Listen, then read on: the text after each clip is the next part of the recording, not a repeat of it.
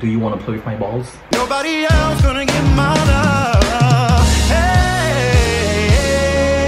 What is up guys, it's your boy Jaylen here and as you already know it's time for another one. Yes, it's time for another freaking video. Now I'm sure you guys read the title of this video. Do you want to play with my balls?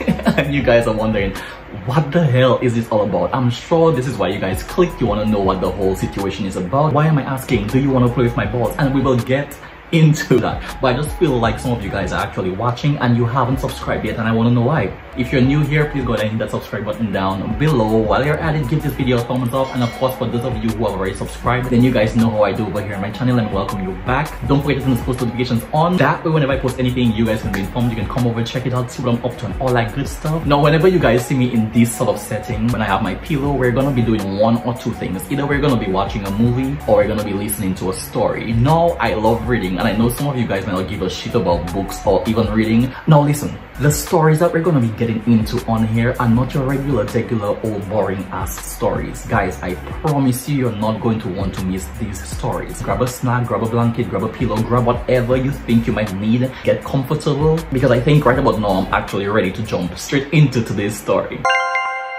Do you want to play with my balls? Hey, Louie. Do you want to play with my balls? Sure, Chuck. I can hold your ball sack so it won't drag on the ground. Wow, your balls are so big, I can't even fit them in my mouth. My mum's always yelling, Louie, get those balls out of your mouth before you choke. You know that mean girl, Sally? She squeezed my balls so hard, they looked funny. Yeah, well, when I play with Sally, I always end up with blue balls. Billy Johnson made Sally cry last week. Now that kid's got balls. Not anymore. Yesterday, Sally kicked Billy's balls so hard he lost one. Look, Louie, your dog is licking my balls. Let's roll them on Sparky's fur. Girls hate hairy balls. You know, Chuck, if we show Sally our hairy balls, she'll scream for sure. Yeah, but I don't know. I kind of like Sally. I wish she would just play nice with my balls. Yeah, me too. Hi, Sally. Do you want to play with our balls? Sure, but only if I can play with both of your balls at the same time.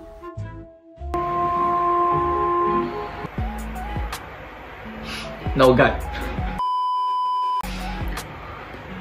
Okay, now guys, if you're wondering, this is an actual children's book. That book was actually written for kids. The authors of this book are Christopher and Matthew Cifaldi, and they wrote this book for kids. Now, kids are innocent. I'm sure a child would hear this story or read this story, and majority of them wouldn't really think anything, you know, out of the way or out of the ordinary about this story. And I think that the authors just wanted to create a story about balls, you know, for the kids.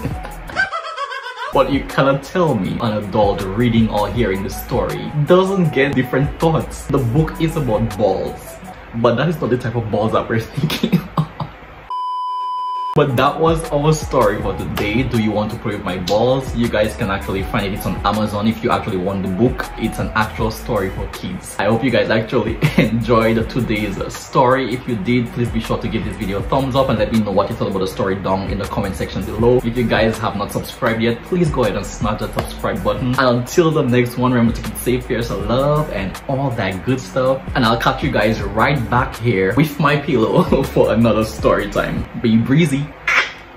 Peace.